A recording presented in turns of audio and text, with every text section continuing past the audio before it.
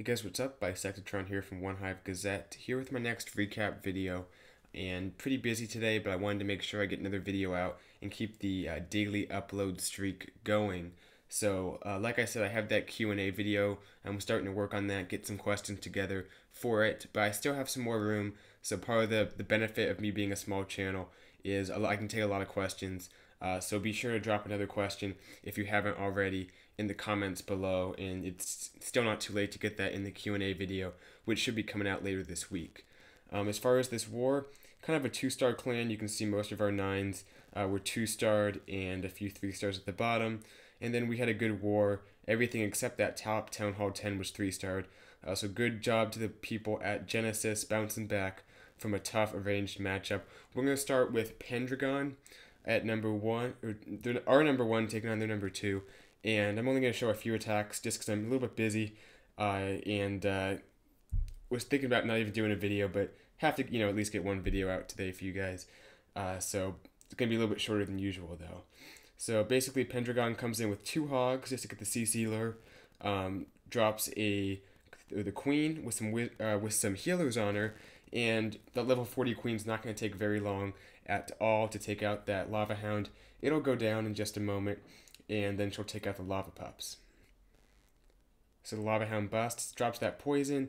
Uh, it helps take out some of the pups that are attacking the healers, and the queen takes out the rest right here. Then she's to step her way up. He's to wall breaker her in, wall breaker her in to the first compartment there and let her get access to some of those defenses and most importantly get that air defense taken out and continue to walk around the left side of the base so as soon as that storage goes down she comes back in. Now she's going to take quite a bit of damage here so he goes ahead and drops a rage which will help her stay up even though there's about four or five point defense on her at one time. Uh, she's going to go ahead and take out the king too because he gets in range i believe. Uh, right there he's going to step up uh, but she'll take out the king and then she'll make her way around and get to that next air defense towards the bottom here. So the queen gets a little bit low, has to go ahead and pop the ability. No big deal though, um, gets a few buildings with it as well, and she'll continue her walk around the base. Um, just taking out all these uh, trash buildings along with some of the uh, archer towers and stuff. Now right here she does target a wall, um, but no big deal. She's going to take a little bit more damage because of, because of this, uh, but has the rage. Uh, almost drops it too late, but gets it down in time. And even though she's taking quite a bit of damage, uh, the level 40 queen with uh, five raged healers is able to stay up, even with the enemy queen and all that point defense on her. So she gets the job done, takes out the next air defense. Uh, the king comes in here, not really a whole lot of purpose to him, just to clear out some trash buildings, help funnel the balloons into that next air defense. Uh, so in he goes. Queen still up doing uh, some work on those expos. Drops a nice freeze there. It's going to take out the uh, air defense, the uh, Inferno, and a Tesla. So it's good value for that freeze. Then the balloons making their way through under haste. They go right into a rage, and they'll get on that. Uh, or actually, they kind of bypass the Inferno Tower, but the Queen takes it out, so no big deal there. Has the next freeze, uh, same situation there, getting the Inferno and the air defense, and then has, uh, I think, about two Lava Hounds still up. The single Inferno does do quite a bit of work on his hounds, uh, but the pups help tank for the single Inferno, and the air defense goes down. So now all that's left is just those three defenses in the core and has just enough balloons to get the job done. Uh, you can see the last few ones kind of making their way over, and the queen's on the Inferno anyway, so uh, she takes it down. King still at full health, has a bunch of lava pups. We'll fast forward. It's a three star. Nice job to Pendragon. Alright, we're going to take a look at number, I believe it's nine, if I got it right. I, yeah, I believe it's nine. Yes. Yeah, this is right. So uh, we're looking at Yair taking out number nine and doing it with uh, some Quakes uh, in a Goho. Uh, so you can see he has the 30-30 heroes.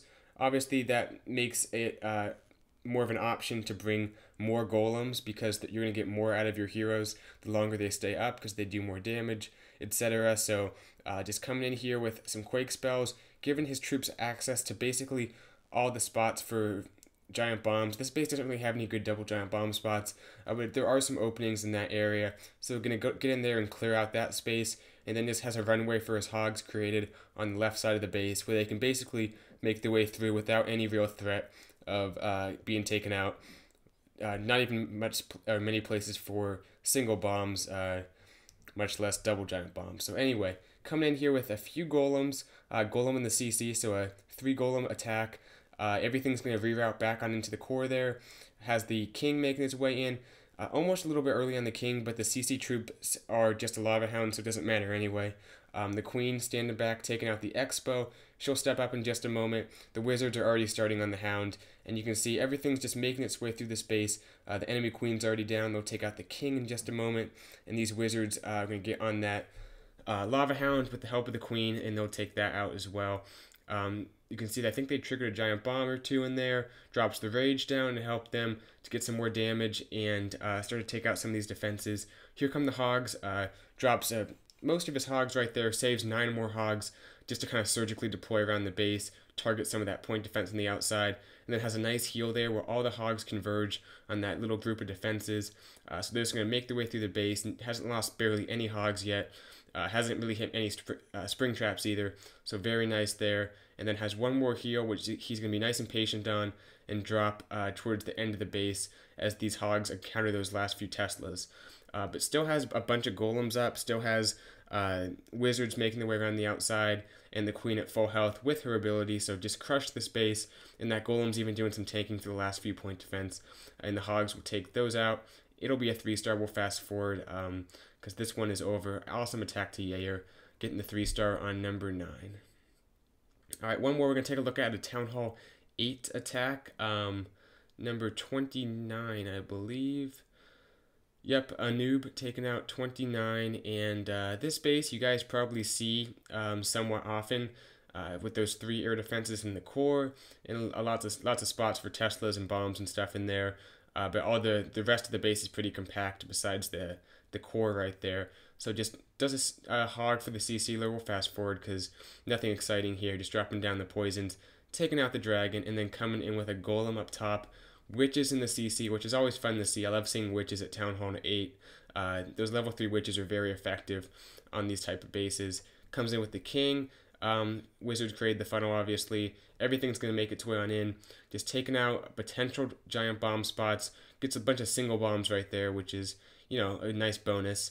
Drops the rage down, just basically let his troops uh, go through the wall right here. The king kind of does go off to the side along with the golems. So they don't enter the core, unfortunately, but that one hog right there, uh, making its way through, testing for bombs, drops a heal, just being nice and patient. You can see that one bomb does go off, but the hogs are just inside the heal, and they do uh, trot over a second bomb as well.